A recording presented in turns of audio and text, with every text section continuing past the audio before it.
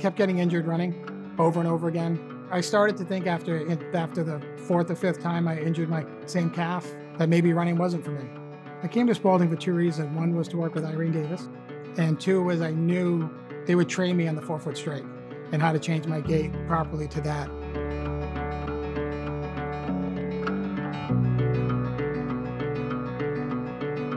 I believe everybody's a runner. I think that running is in our genes. It's something that we are able to do without any kind of training at all. And it's something we need to do. It's an activity of daily living. You have to run after your kids. Rich was a great candidate for the program at Spaulding. He was one of a group of runners who tried to transition themselves on their own. Worked as a strength coach at sports and conditioning facility in Rhode Island. I thought if I just did some calf raises and did some strengthening, I'd be fine. But I turned out coming here, there were so many other muscle imbalances I had and so many things that were out of whack that I needed a lot more help than just calf raises.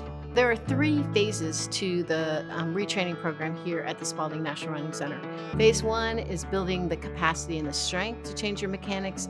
Phase two is a four week, three times a week gait retraining program.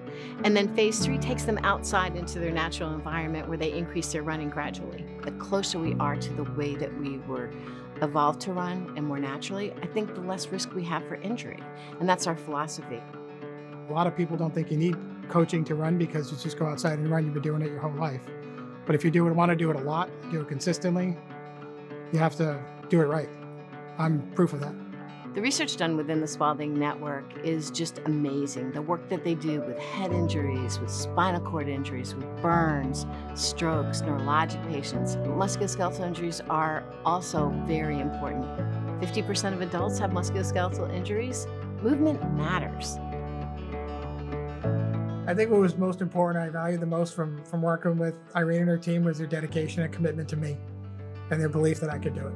Yeah, I think if I had the benefit of, of finding this place 15, 20 years ago, I think I'd be a much healthier person now. I think I'd be happier. Running makes me happy.